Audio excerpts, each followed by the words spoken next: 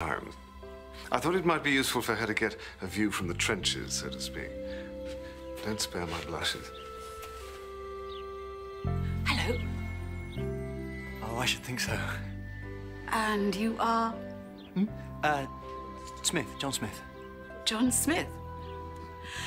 I used to have a friend who sometimes went by that name. Well, it's a very common name. He was a very uncommon man. Nice to meet you. Nice to meet you. Yes, very nice. More than nice, brilliant.